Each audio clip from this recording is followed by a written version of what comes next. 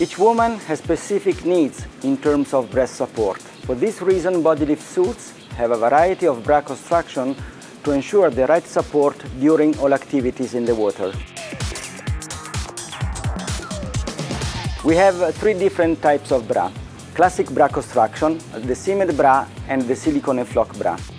The classic bra construction is made of uh, one additional layer of fabric fixed by a soft underbust elastic to provide a basic but comfortable support.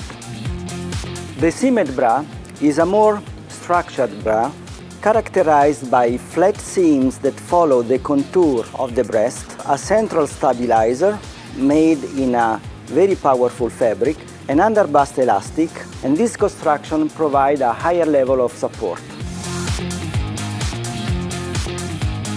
The silicone flock bra is an innovative bra. In fact, we have replaced all the seams and elastic by using this application of silicone flock directly onto the fabric and uh, this silicone flock allows for a perfect adherence to the body and guarantee an excellent mix of support and lightness.